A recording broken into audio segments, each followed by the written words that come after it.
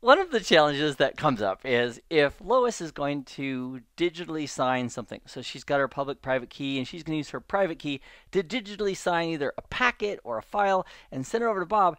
If Bob wants to decrypt and verify Lois's signature, Bob is going to need a copy of Lois's public key. And that is a problem if Bob doesn't have a copy of Lois's public key.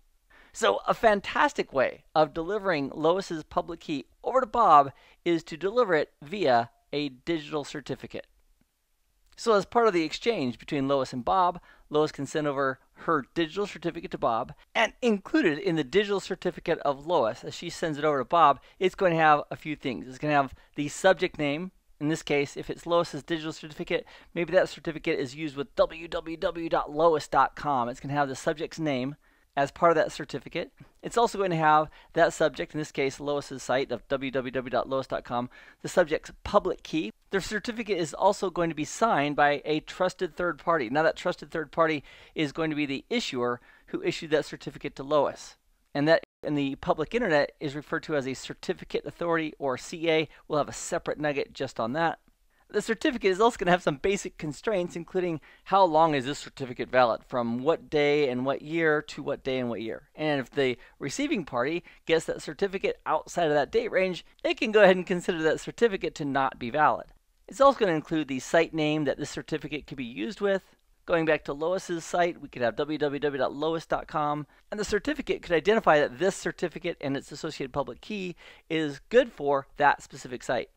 It's also going to have some other details in that certificate regarding the algorithms that were used as part of that cert.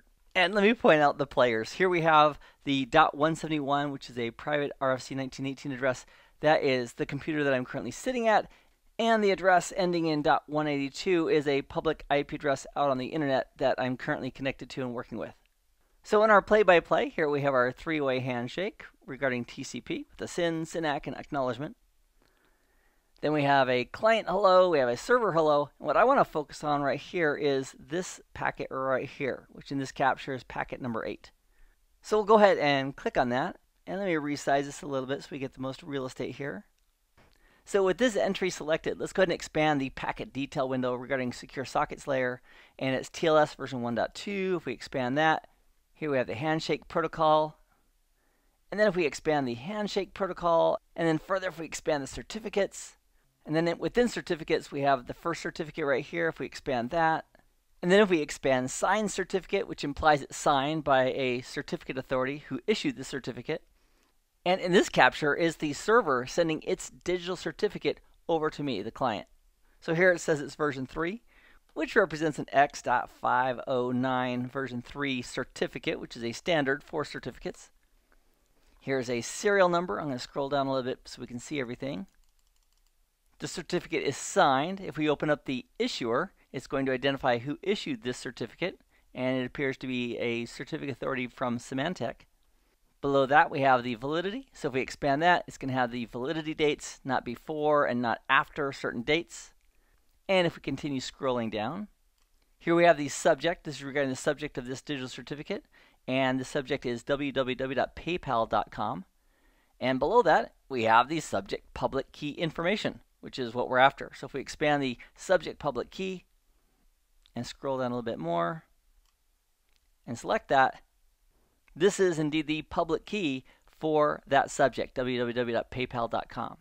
And as a client, if I trust the certificate and I extract this public key, I now have the public key associated with www.paypal.com.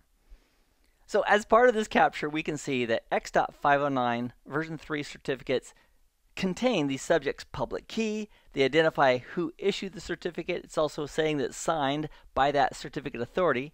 And it also has some basic constraints, including validity dates within which the certificate can be considered valid.